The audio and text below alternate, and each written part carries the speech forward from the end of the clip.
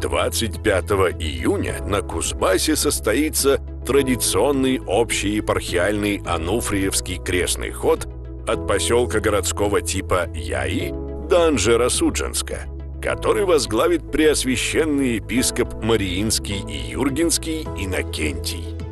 Крестный ход предварит божественная литургия, которая начнется в 10 часов утра в Свято-Ануфриевском храме Яи.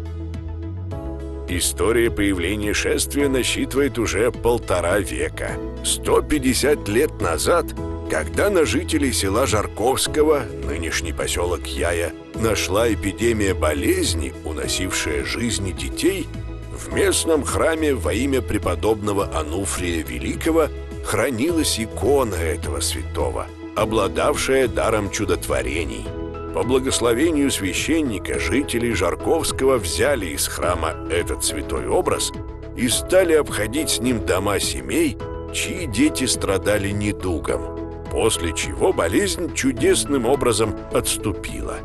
С тех пор каждый год в благодарность святому местные жители совершали крестный ход.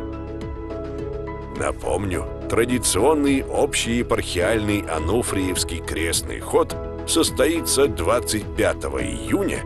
Начнется он в 10 часов утра в Свято-Ануфриевском храме Яи и пройдет до Анжера-Судженска. Принять участие в крестном ходе могут все желающие.